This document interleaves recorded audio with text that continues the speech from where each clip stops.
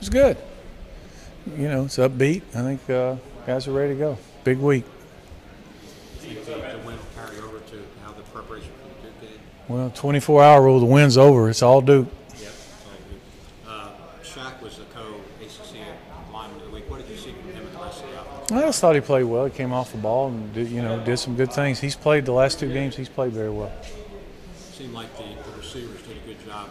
Did a good job blocking. We, we didn't involve much in the passing game, just the way the game went. And, uh, but they were unselfish and did a really good job blocking. Are, are you prepared for the uh, Duke had a week to prepare for the game? Yeah, well, be yeah, whatever. I'm sure it helps.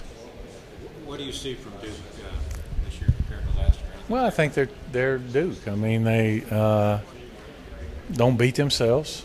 They're sound and well coached, play hard. And you got to beat them. They're not going to beat themselves. How's Brian? I don't know if you answered that already. Brian, Chamberlain. uh, he's day to day. Hopeful that will play Saturday. You don't have any idea. Any other significant injuries?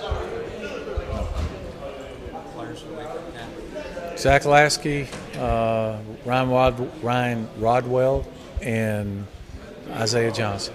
Did you ever find out how many times Laskey got tackled, uh, either on the fake or playing? it seemed like it was 50. Don't worry about that. He's a he's a strong boy. He can handle it. Yeah, I think he, he relished it. Yeah, I think he enjoyed it. It's a fun game for him.